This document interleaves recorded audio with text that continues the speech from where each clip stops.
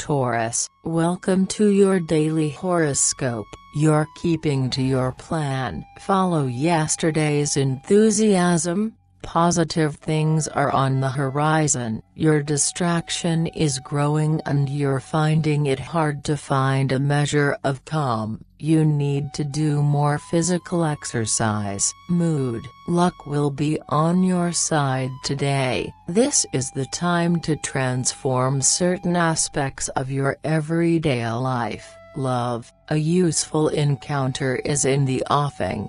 So get out there if you are single and fate will take care of the rest. If you're in a relationship, a new emotional boost is coming into the sphere of your affections and will warm up your relations. Money. You'll instinctively be able to attract luck financially. Listen to your inner voice to solve a few annoying problems. Work. You're going to free yourself of a tiresome piece of work and it will be to your own credit. You'll be efficient at everything you do today so make the most of it. Have a nice day Taurus, see you tomorrow.